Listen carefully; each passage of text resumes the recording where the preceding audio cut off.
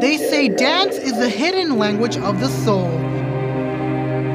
And graduating UTPA dance majors revealed their true passion for the performing arts at this year's Senior Choreography Projects.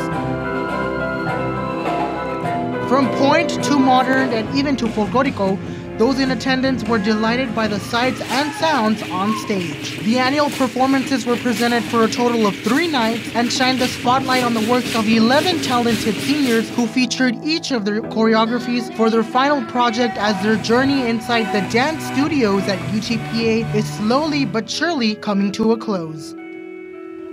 Dance is um, just something that that makes me connected with my body and it just helps me, you know, express myself without having to use words or without having to be able to speak and it's just a really great way to express, you know, what I'm feeling or what's going on and, and be able to show it with my body and people will be like, oh, okay, like I understand, you know, how she's feeling or what she's trying to say.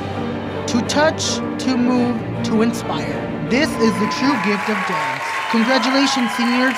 It's time to take a bow. For Bronc News, I am Orlando Vargas.